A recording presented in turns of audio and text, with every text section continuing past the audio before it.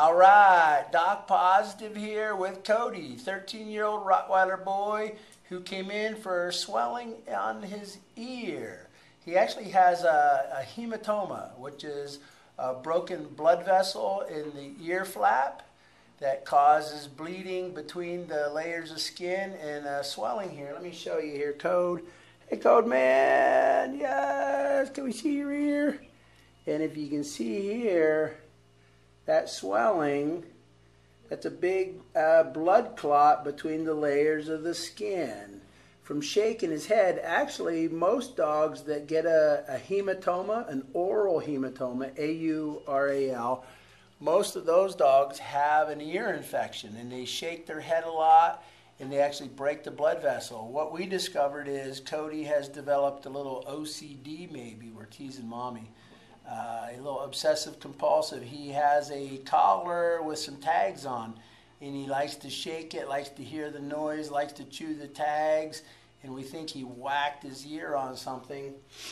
Years ago, Doc Pawsitive did surgery on these. We would incise them, drain them, sew the ear together, and the dogs were really miserable.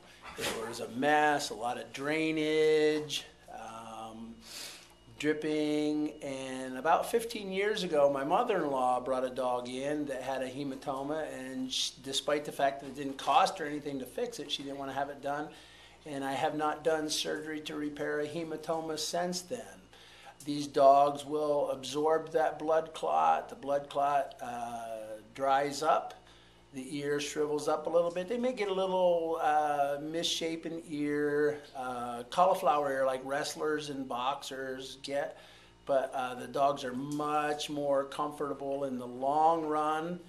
Uh, we don't get any income, but that's okay. We're doing okay anyhow, but the dogs are more important, much more comfortable. The only time we do surgery anymore is if we have a dog that has upright ears possibly a um, German Shepherd, that the people, it's really important for them that the ears stand up. And we can't even guarantee after surgery that the ears will stand up. But Cody here, he is going to avoid surgery today. Going to send him home. Maybe have him come back in about a month, check that ear just to see uh, how he's absorbing that. Because it does take a couple of weeks for the blood to be reabsorbed. But that's an aural hematoma.